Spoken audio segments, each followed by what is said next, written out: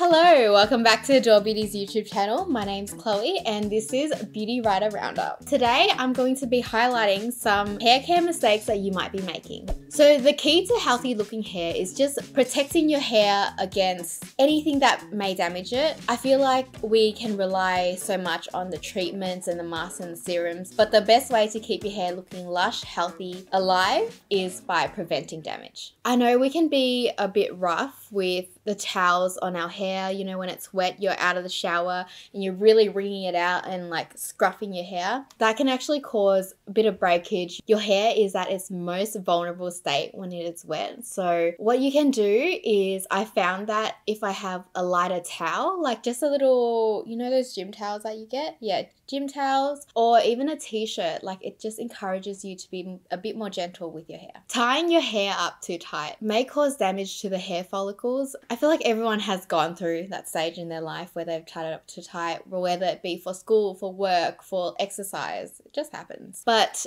you can try using scrunchies or you know those invisible bobby, the springy things like Maddie, you can do that. Yeah.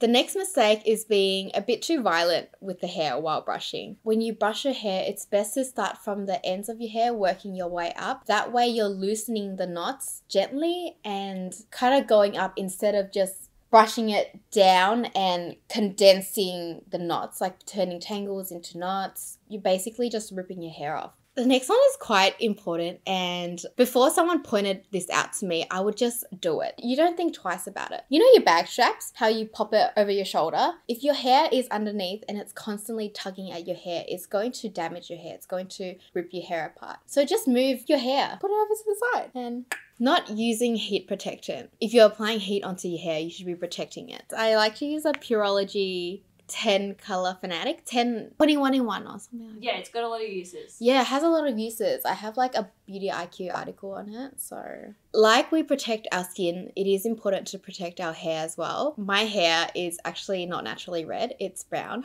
Surprise. I know.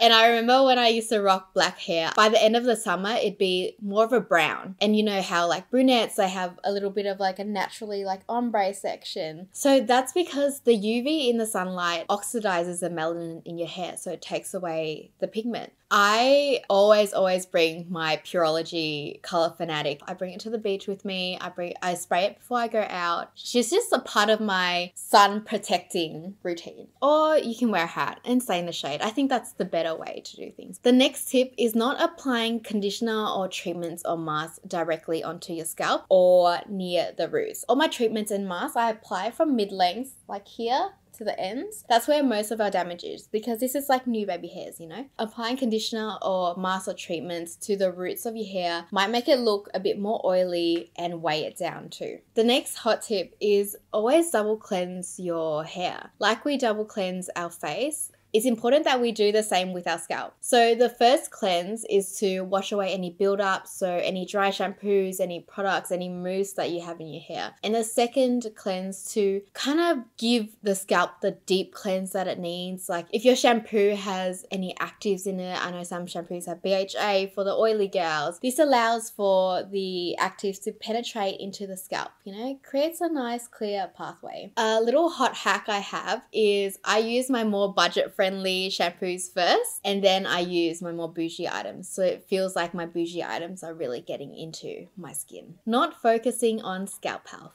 A lot of people neglect their scalp health. We take care of the skin on our face, so it makes sense that we take care of the skin on our scalp as well, right? So there are a few serums that you can use. Um, I know the Ordinary have two. They have one for hair density, the peptide one, and then one with hyaluronic acid for just just nurturing your scalp. Your scalp needs that love. And Kerastase have a few actually. They have my favorite one. It's a blue bottle. It's a Kerastase blue bottle. It's the scalp Specifique Potentialiste serum. And that just smells so sexy, so masculine. So that scalp serum is great for all hair types. Not only is it good for a dehydrated scalp, so if your scalp is feeling a little bit dry, it is also great for rebalancing oil production in the scalp. I have oily hair. My hair's more on the oily side and just from personal experience, I can go for like four days without washing my hair. Last time I washed my hair was on Sunday. It's Wednesday. And it doesn't look gross. No, it looks really Yeah. good. So that was all. I hope you learned something new. If there are any hair care mistakes you think people make that we don't know about, please let us know below. Or we'll see you next time on Adore Beauty's YouTube channel.